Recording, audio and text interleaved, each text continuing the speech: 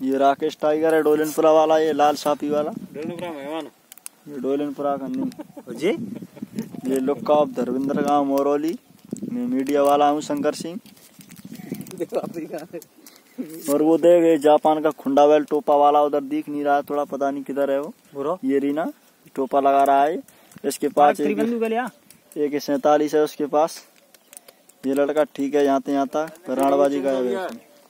ये इसकी तीन सौ छह कन्वर्स्टेट है। ये इसकी दो सौ पचहत्तर है। ये रवि रवि डोन है। गाँव मोरौली धर्मेंद्र ऑफ़ लुक्का से छोटा भाई है उसका ये। इस पर फ़िलहाल डेढ़ लाख का नाम है हरियाणा से। और वो मेरा साला है वो दिख रहा है ना? वो मेरा साला है। उस पर पचहत्तर हज़ार रूपए का इनाम है भरतपुर से। और ये याके स्टोन है ये अभी पंद्रह साल जेल काट कर ग्वालियर से आया छूट कर जो कुछ वीडियोस कल से व्हाट्सएप पे या अन्य सोशल मीडिया प्लेटफॉर्म पे वायरल हो रहे हैं, उसकी जानकारी मुझे मिली थी, मेरे संज्ञान में आया था।